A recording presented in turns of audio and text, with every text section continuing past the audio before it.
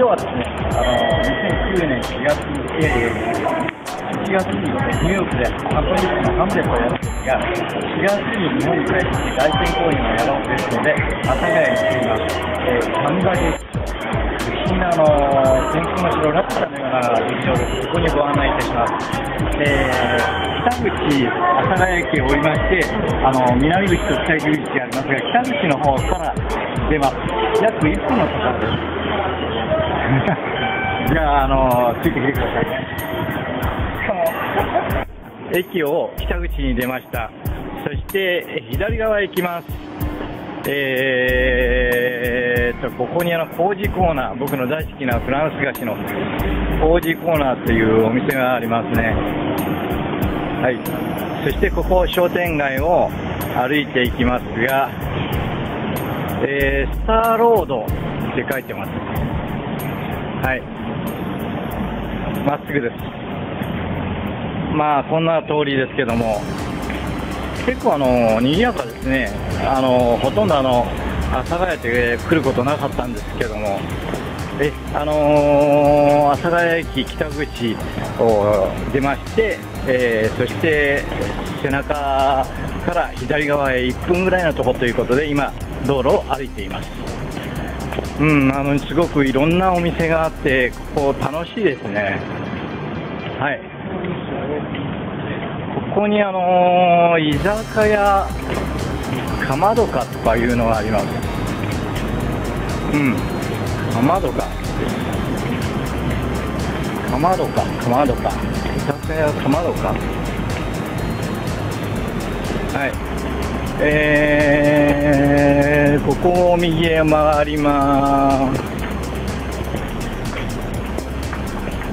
うん、ちょっと入った感じだけどもいろんな街中にポスターとか貼ってるので分かりやすいかもしれない、うん、はいそしてどこだあまだまっすぐかなはい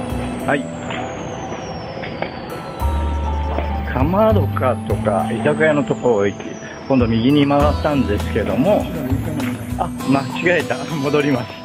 えー、かまどか戻りました。かまどかから来て、えー、すぐ、えー、こっちですね。ちょっと行き過ぎました。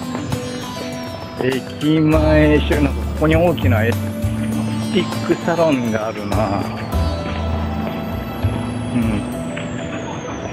なんだこれ東和セントラルフィットネスクラブ？うーんこういうのあるんだ。えー、昨日あのゲリラライブでも大変な思いしました。そしてもう待ってる間そうですね。日本初の携帯動画、えー、詩人ということで雲水君っていうブログを立ち上げました。よかったら見てくださいね。えー、えー、携帯詩人っていうのはあるみたいなんですけどもあの携帯動画詩人っていうのは検索してもあの全然出てこなかったのでおそらく僕は名乗った最初だと思います。日本初の、えー、ポップ外見力司会権人それからスピリチュアルフェロモンそれから、えー、携帯動画詩人ああここにあの不動産のアパートマンション住まいのことは何でもとかアイレントっていうのがあります。人が並んでますね。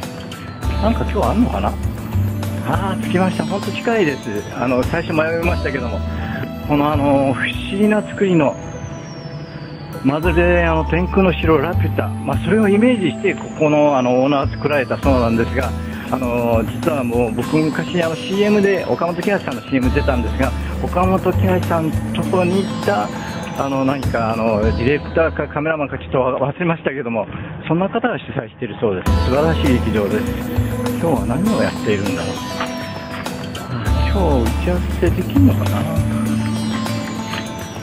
一応契約することになってるんですけどね。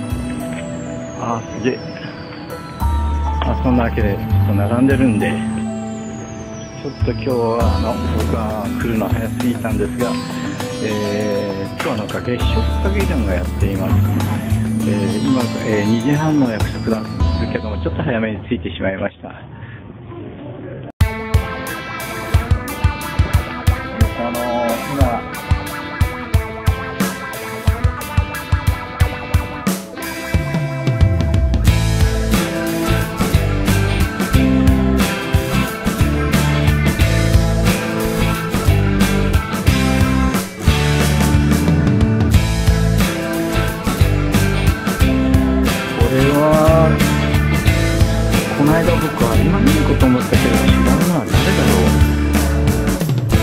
よくわかります山本藤子だ。山本藤子だな。うん。金魚いるかな。金魚？金魚？金魚？金魚はなぜ赤いのかな？うん。石の心になるのじゃ。仮面の告白。あのモダンダンスのシーン俺作ったんだよねテレビのね仁博士のスピリチュアルダンスという本でモダンダンス大嫌いって書いてるから最悪だわ。ではではさよなら。